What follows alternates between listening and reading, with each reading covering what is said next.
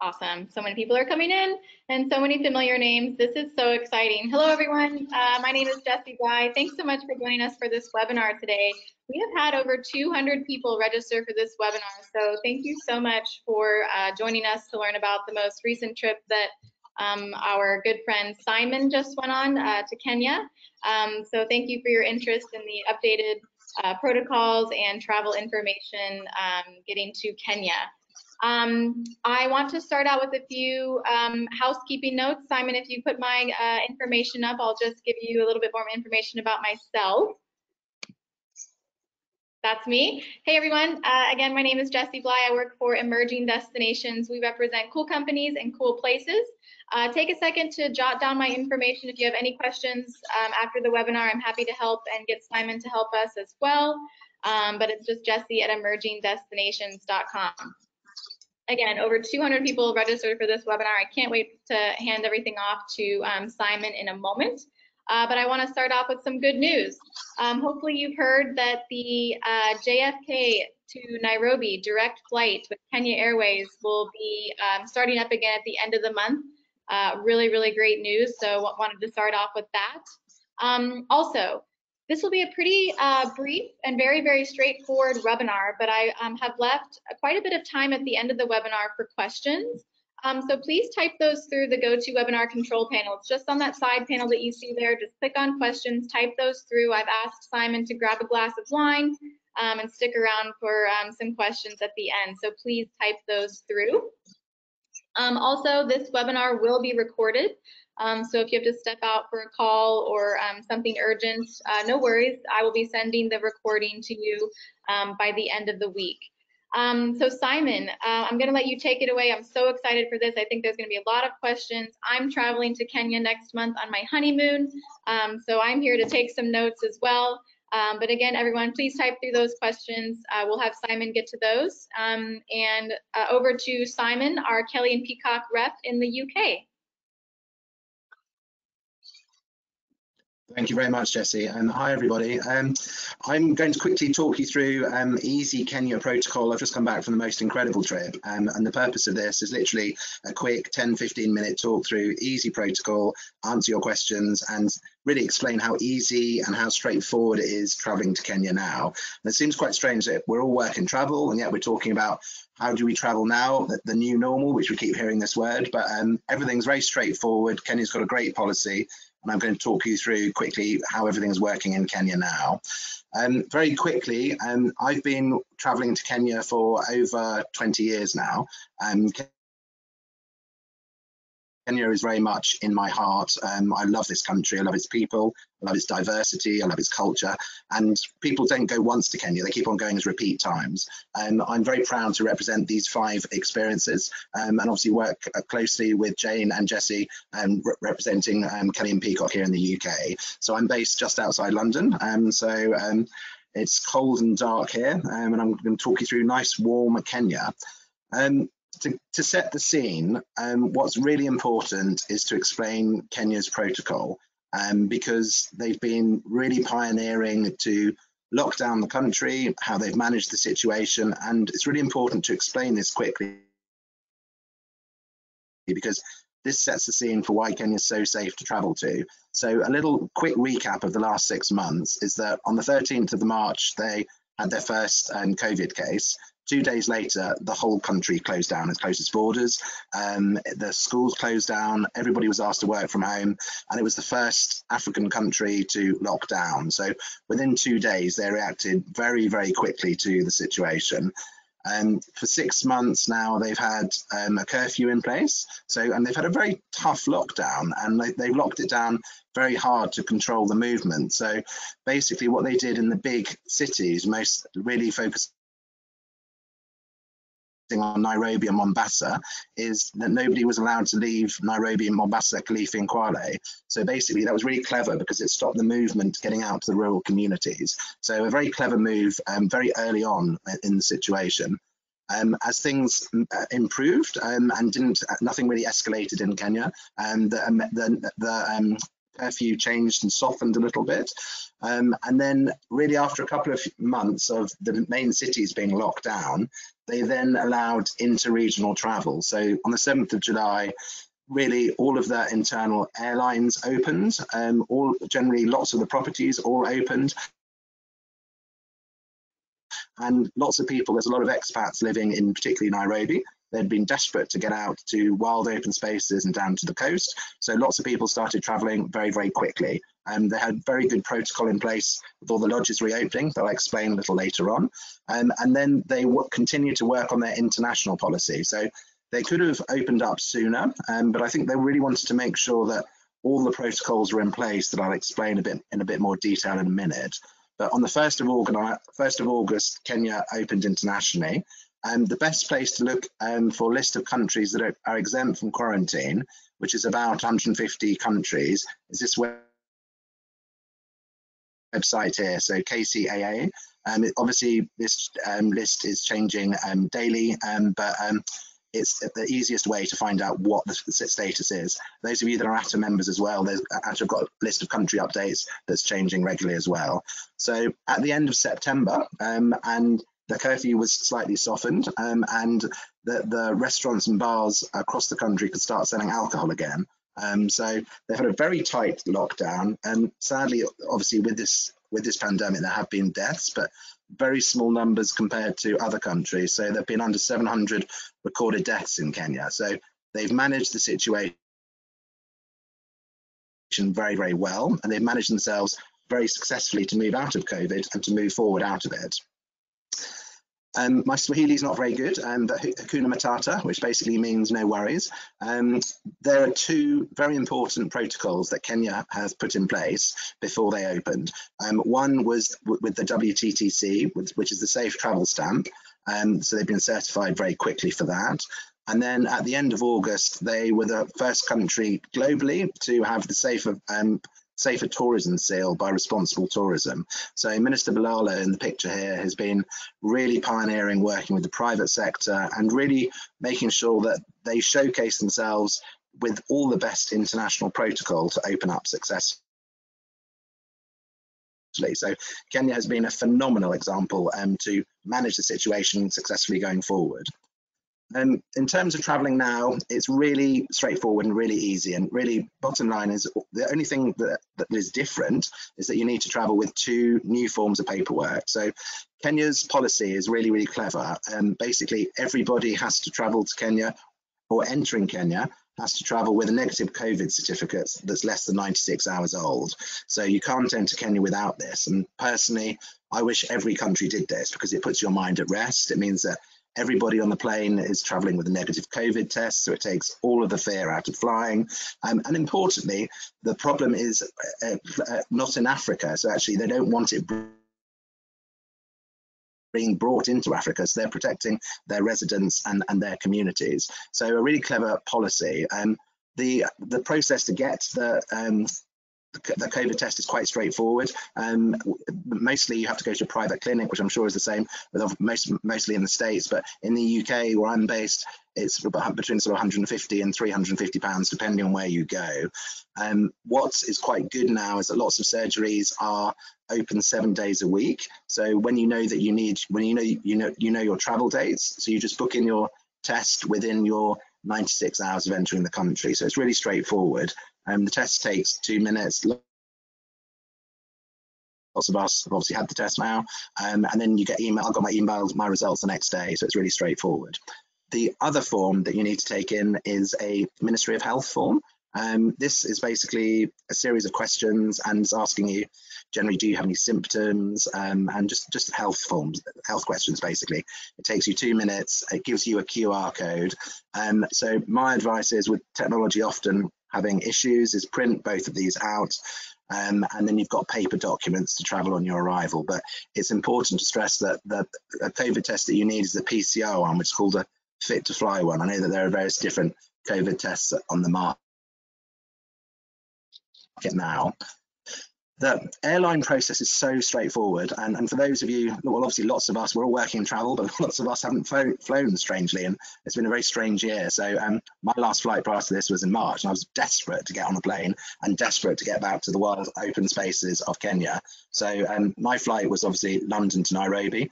obviously the difference now of flights is that everybody's masked. Um, social distancing, every um, in, information generally, obviously everywhere in the airports, and most of the shops doing one-way entry, which is quite straightforward. Um, I noticed the lounges in the airport aren't doing buffet food now, so it's actually quite straightforward. You just order from an app and you get table service, which is great. So the the process is really straightforward with flying and it really feels very normal apart from wearing a mask. And I think we're all quite used to wearing a mask now to obviously protect ourselves and protect other people in public places. So obviously when you when you're eating, you obviously remove your mask. Um, I would say keep the wine coming and then you can keep the mask off. Um, what I would say is you get limited food, um, I think you often do on planes anyway, but um, it's very much boxed now um, and and everything's just more wrapped and clean probably. And um, so there's obviously lots going on in the background process. But I think what most impresses you about the traveling process is when you arrive into Kenya. Um, and, arriving at Jomo Kenyatta, which is the international airport, is you're just you're entering really proper protocol. So you arrive, you present your COVID certificate, um, which is really which is um, obviously quite straightforward and quick. You show your QR code. They've got thermal scanning machines um, which you just walked past and have a temperature check. And obviously there's sanitizer stations everywhere and social distancing. So it's so much more comprehensive than the UK. And from lots of American travelers I've heard from, much more comprehensive than um, traveling through the States. So as long as your uh, temperature is not above 37 and a half degrees, as long as you don't have a cough um, and you don't have any flu-like symptoms, you've got no quarantine for over that 150 countries, which includes all of the states. So the visa process is still very straightforward and really easy. Um, I always do mine um, on I always do mine um, on arrival. Um, very quick, very easy as, as, it always has been. And then your bags are sanitized and off you go. So really straightforward, really easy. That protocol is very much followed through with the internal circuits of flights. So um, Wilson Airport, for those of you um, that haven't been to Kenya yet is the local domestic airport where all the flights go from. And it's a really good example of how they can successfully operate during COVID. So again, there's thermal scanning. You'll see pictures of the machine here. They do temperature checks and they've got all the necessary precautions because of course we have to live with this um, for, for, the time being. So Kenya is really prepared, even in, the, in out in the bush, as was explaining these very wild and remote areas, so the only difference that you really have when you fly internally is that you have to wear a blue medical mask. Um, if you don't have one, the airlines give it to you, that's fine. Um, the internal flights in Kenya are generally very short, so you're probably doing a maximum of an hour on each flight anyway. So again, you're not wearing your mask for long. And then as soon as you're out of your car, sorry, out of the plane into your open car, you take your mask off and then you're out into the wild. So um, Safari Link and Air Kenya protocol is really impressive. And one point I want to stress is that all of this protocol was already happening before COVID, um, and it was obviously behind the scenes. And now they're now just doing more vigorous cleaning, um, and their protocol is, is, is more strict. But lots of this was going on before. But flying circuit is as easy as it always has been, and even going to really wild and remote airstrips in the middle of nowhere. Um, you've got sanitizers and stuff. So it's really quite incredible. And Kenya has really got this in control and it's really on top of everything. Lots of people have been asking me, um, obviously, how is the lodge experience when you get out into the bush? Um, and this is a really important bit that I want to talk through because really there's there's there's there's so much good news here to share. So what's very clever with Kenya's opening policy, when all of the lodges opened in early July, they all had to get an opening certificate, which was really clever. So basically, they had to adhere to lots of new measures. Again, lots of them were doing all of this before, but this protocol. Um, and then they could only open when they've passed all, when they've come, been inspected, and they get the opening certificate. So basically, as a guest, you arrive at any of your lodges and you get temperature check on arrival, sometimes daily. There's sanitizer stations um, sort of discreetly put around the property.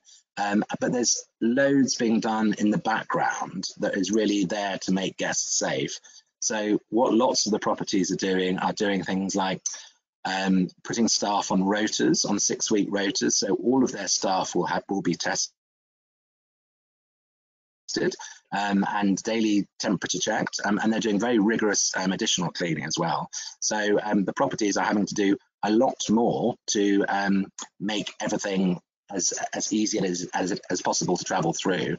Um, lots of people have asked me how do they feel these lovely properties? And really does it look like normal? Absolutely. And actually i'd say it feels better as normal as i'll explain sort of later on in the presentation. But all of this open space and out into the wilds i've just had the most phenomenal two week trip and i feel on cloud nine again. I feel completely recharged and i've forgotten the bad bits of 2020 and i'm focused just on my lovely little kenya bubble of how fantastic everything is. Um,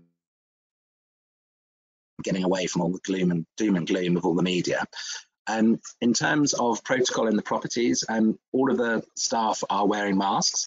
You as a guest don't wear a mask unless you're um, unless you want to, and unless you're in close proximity to other people in communal areas. But it's very easy to social distance. So basically, really, you don't wear a mask apart from the internal flight. So some of the properties are doing little welcome packs with hand sanitizer and a mask if you want want to want to wear it. But really, every, everything really does feel completely normal. The only things that are really different is that with the new Kenya certificate, um, people or properties can't offer communal dining at the moment, um, and there's no self-serving buffets. So lots of properties across Kenya didn't do this anyway. And the fact that they do this now means actually it's a bonus because you've got a more private safari just eating with the people that you're traveling with, um, which is really nice. And then the other thing that's good is that the cars have to um, have less people in the cars. So um, again, lots of the properties are now offering private cars. So you're in many instances getting a private car free of charge and enjoying your private meals, your private drives. You have, you're getting the most private safari everywhere. Um, and of course, it's much quieter than it normally is with what's going on at the moment. So you've got the most exclusive private experience at phenomenal prices. Um, I think an important point to stress here is that the safari industry has very much been doing all of these protocols for years. Um, and the whole nature of um, the safari industry is space and privacy. So the travel ex traveling experience really doesn't feel any different. Leaving Kenya, really straightforward. You go through and have a temperature check. Um, and then I was flying British Airways. So British Airways were very insistent I must fill out a form, otherwise I can't get into the UK. And I completed my form and they didn't ask for it when I got to London and I had no temperature checks.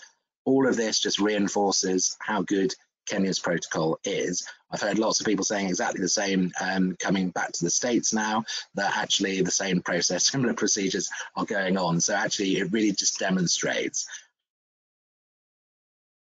how good Kenya is in terms of managing the situation.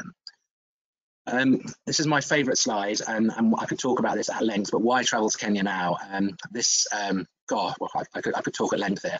I think that we've all felt like caged animals throughout this process. What a strange year! And I think after six months to get on a plane and get on a plane was so exciting, but um, to actually go to wild and remote places and breathe all of that fresh air was so so special.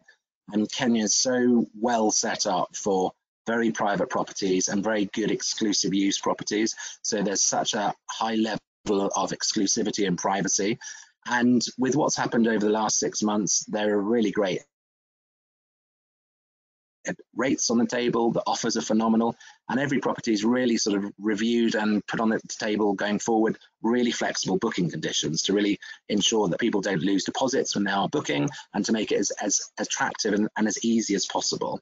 Uh, importantly, there's no government support um, for Kenya tourism. Um, so the guests or the lodges rather really need everybody's business and there will be some that won't make this won't make this experience, which will be a really sad journey. Most operators tell me that um, about 95% of their Kenya business from 2020 has moved into 2021, which is brilliant. But what we really need now now is 2020 business and everything's set up for it now. Um, an important reason to, of course, visit Kenya, as always, is that the conservation is widely funded through tourism. So the national parks and the conservancies really need the park fees to maintain the anti-poaching and to protect the wildlife. So we really need the tourists to come in. So I had the most private safari I've ever experienced. Um, I was down at one of the properties I was at was at Angama Mara, which was absolutely phenomenal. I'd never seen the migration before. I saw three of the biggest crossings. It was like a BBC film. It was absolutely phenomenal. There were less than 10 cars at the crossing sites. Um, the guides were telling me normally it's over 100 cars. And um, so this is the most a special, special time, and I will never ever forget the amazing experiences I've just had and the and the privacy of the whole experience. I'd also say uh, one point to stress is that doing multi-countries now in Africa is a bit more complicated than it used to be. So um, I want to stress that the safari and beach circuit is really easy in um, in Kenya. Obviously, you've got great beaches on your doorstep, but you do need a little bit of R&R after your trip. You can fly straight from the Mara, straight down to places like Diani. It's really straightforward. It's really easy, and you, everything's all in the same country, so there's no new protocol to go through. So my my trip was phenomenal. It's more than recharged me. I, hands down, say it's been my best trip. So carpe diem, seize the day, and please tell your clients that traveling to Kenya now could not be safer, um, and hopefully they listen to you. Um, Jesse, I know we've got lots of questions. That was my quick um, whistle stop tour through um, my trip um, and um, the protocols. But um, Jesse, over to you for questions. I know we've got quite a few questions beforehand. Yeah, um, I uh, have a lot of questions for you, and everyone, please type those through. I, like I said, I've asked Simon to pour a glass of wine and stick around and get us some accurate information. But Simon, I am so excited to go on my honeymoon. I like your reference of caged animals. Um, I we yet. feel like, yeah. I truly feel like it's uh, been a year, so I cannot, I cannot wait to go. So thank you so much for all of that. And again, with the um, direct flight, JFK to Nairobi opening up at the end of the month, um, that's just absolutely excellent news.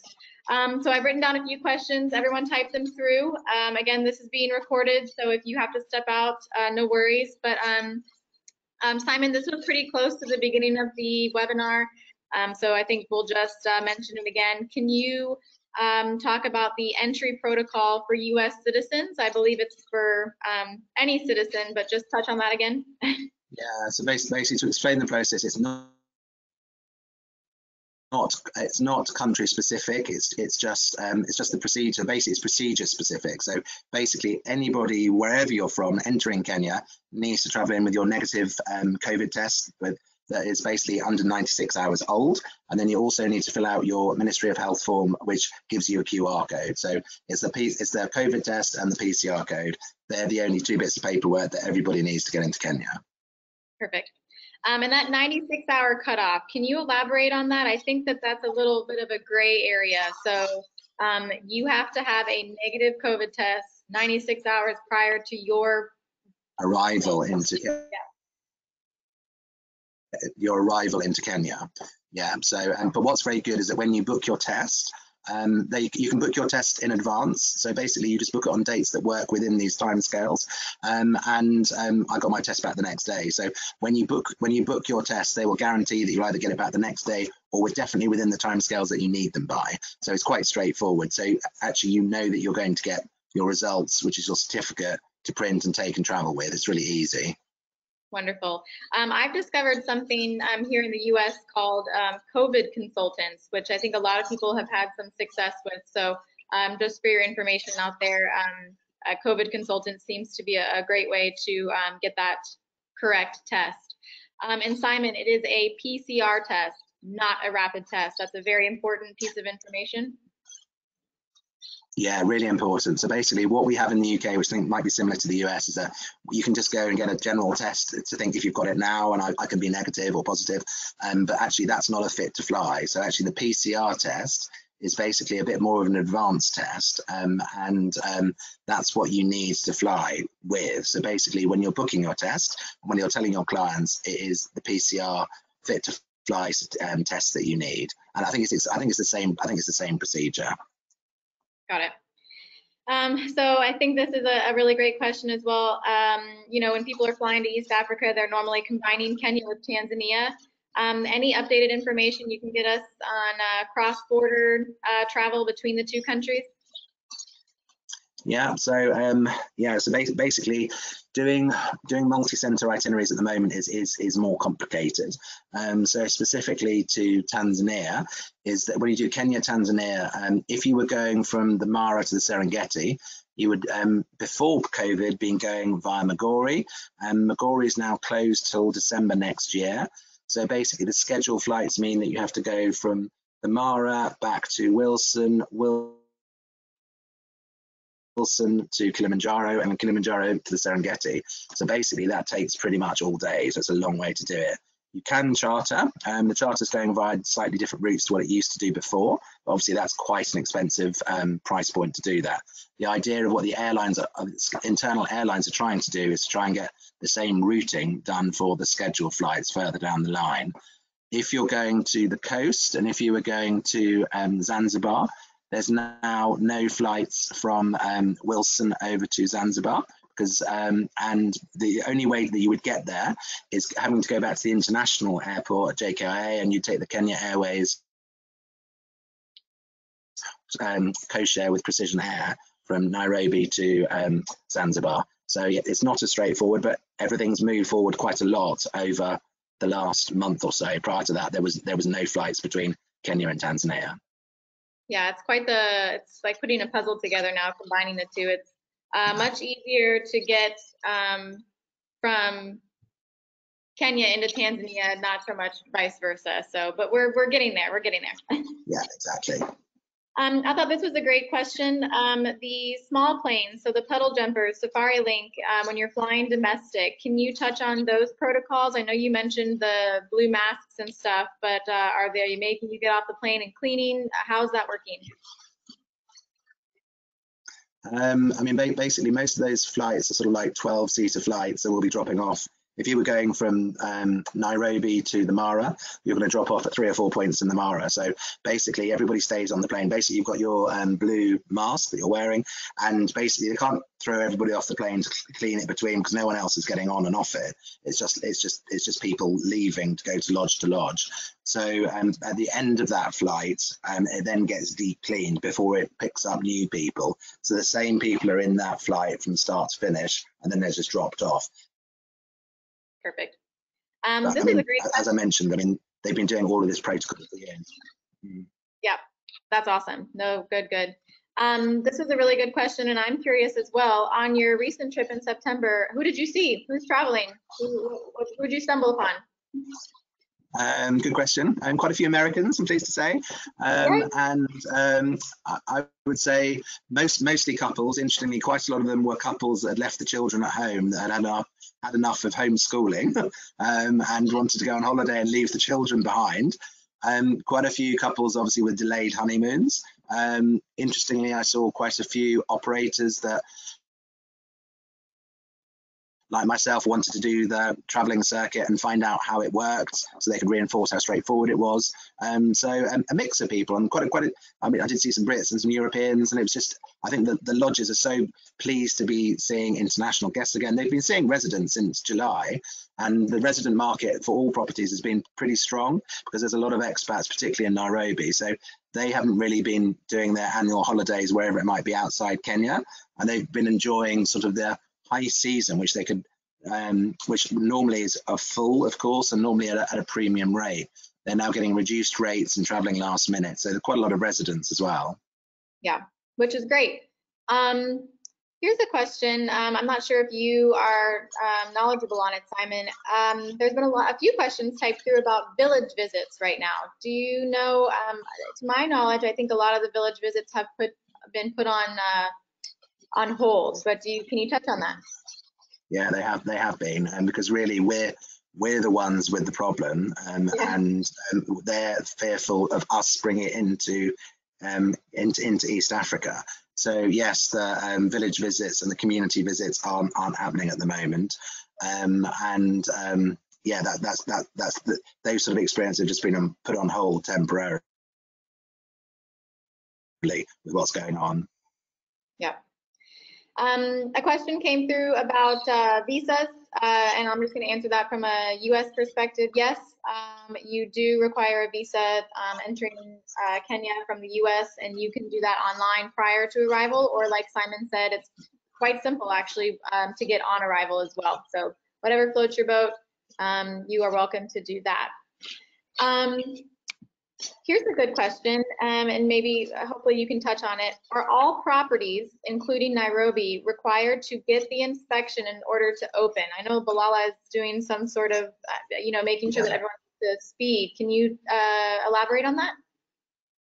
Yeah, so yeah, so basically every single property in Kenya has had to be government inspected. Um, so, um, and this is this is the government taking a really the, the government have put these rules in place in terms of um, protocol and criteria, and it means that um, it's being followed at a national standard. So uh, unless properties um, get the certificate, they're not allowed to open. So I think really good process to actually just ensure that all the correct procedures are being done, everything's need is happening how it should be happening, and it's, it's a really good policy. And I think it just demonstrates how how seriously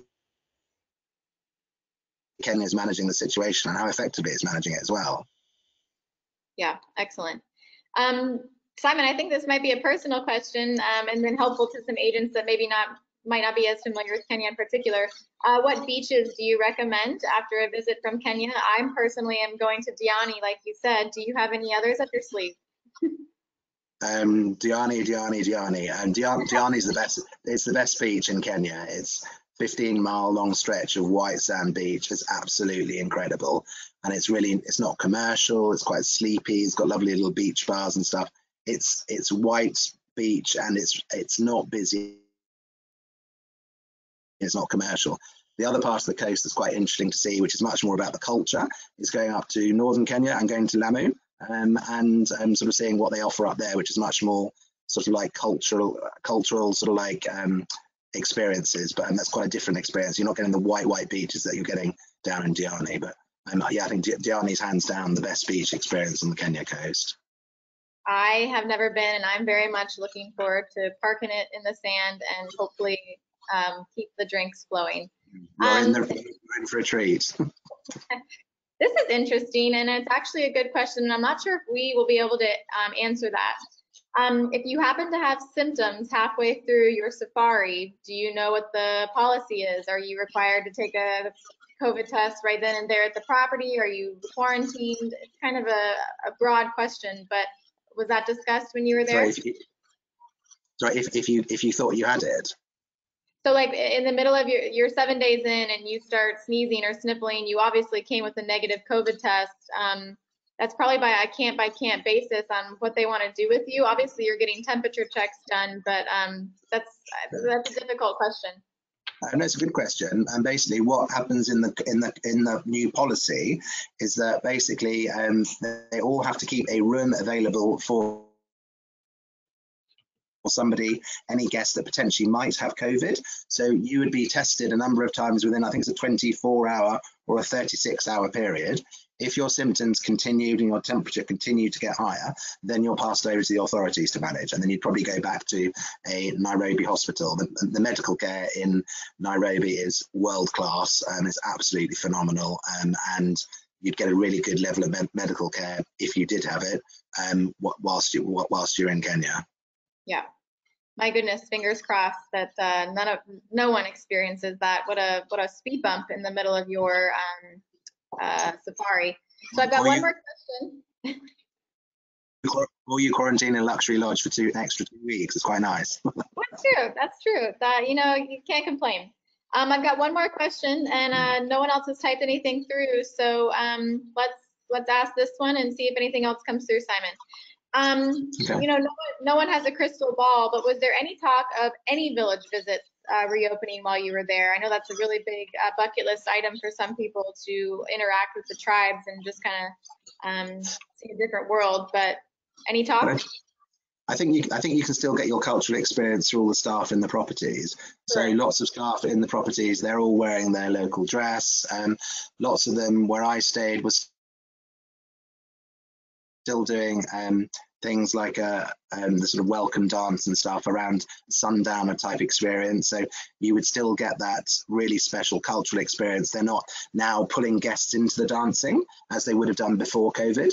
Um, so now instead when they come dancing around, you don't have to worry that they're going to grab you. So it's actually more a bit more relaxing. Um, so um, you're, you are still getting the cultural experience and actually it's probably coming more into the properties um, than possibly it was before because you can't go out to see those those sort of cultural experiences. So you're you're still getting it basically. Yeah, and the people that they have in these lodges, I mean, honestly, like you said, I've you're definitely 100% getting uh, the cultural experience there for sure. Um, I love this question. I'll wrap it up with this one, everyone. I know we're just at a 35 minute mark, but um, if we didn't get to your question, I, I know that no worries. But um, Simon, are the animals behaving any differently since uh, the decrease in visitors? I'm sure it's an open playground for them. They're like, where are all these people? This is amazing. um, no, so I mean, obviously, the um, I mean, there was one point to mention. What's been interesting is that this year it's been the biggest ever migration, um, yeah. so um, which is beyond phenomenal. Um, so and obviously um, people have seen it with the fewest tourists possible. So obviously everything, all of the good conservation efforts have continued. Um, it's really funded by all of the properties rather than the government, um, which is which is which has been a challenge. But they've all had to um, they've all had to continue to support their conservation efforts. So know that the, the anti-poaching has continued, the wildlife um, habits have continued as normal, and it's I mean the wildlife it's business as normal. Um, so they're probably just enjoying less less cars in places like the Mara, which would normally be very busy for the migration three four months. Yeah, I always love telling guests you know the the animals don't know your budget range. They don't know whether you're sleeping in a five star uh, accommodation or four star or whatever exactly. So um so I, I lied simon. This is a this is a great exit question because we have a question about your negative covid test uh, leaving nairobi so a lot of the airlines are requiring you to show a negative covid test when you get on to your departing flight I know that Cheli and Peacock will arrange this for you, but um, can you touch on that at all, and we'll wrap it up with the exit question. Yeah, I mean, quite quite a lot of airlines aren't. I think the only one that is is um, Emirates are asking for um, negative COVID tests. I think that's the only one. So I'd say check with your airlines. Yeah, Cheli and Peacock are have got good relationships with all the medical teams. So actually, if you did need to, you were going on to another country that needs a negative COVID test, the, the test would be the person would come to your hotel. You'd be it would be done in your hotel, and then you get your results generally within 24 hours. So um, it's it's very easily um, done in in country um, with the right and relevant medical experts. Yeah, super easy. And um, I highly recommend all the U.S. Um, people that are joining us today. Um, quarantine when you get back into the states uh, varies from state to state. So I recommend um, good old Google, uh, Google search um, for your quarantine uh, protocols getting back into the U.S. Um, a couple of, we've got a couple of people uh, joining us from Canada. Um, so you Canadians uh, must quarantine no matter what country uh, you come come from. So coming from Kenya, you you must quarantine for 14 days. Getting back into Canada. Um, for everyone else on the webinar, I'm sorry, I don't know. It varies from country to country, state to state, but um, yeah, um, I'm going to wrap it up here. Thank you so much for joining us. Over 200 registrants. I was shocked. So um, we are so happy to um, give you some updated information as, as things are opening up. I think a lot of people are, hopefully you can see the light um, at the end of the tunnel. This has been the craziest time in my life. I uh, and I know that we've got a lot of veterans on the on the webinar here, but um, things are opening back up. I'm so inspired, Simon, by you. Your soul's recharged. I absolutely cannot wait. Um, maybe I'll do one of these when I get back to and just talk about my trip because uh, I'll be on cloud nine. I just know it. But Simon, um, I believe it's your um, well, it's past your happy hour. So I really thank you for joining us. Um, really, really helpful information yeah, thank you all for your time. And yeah, hopefully I've showed you that Kenya is more than safe and hopefully your clients will listen to that advice and, and move forward and book with confidence because everything's there, everything's everything's ready and everything's waiting. We can't wait. Thank you, Simon. Thank you, everyone. Have a great rest of your day. Take care. Thank you. Bye-bye.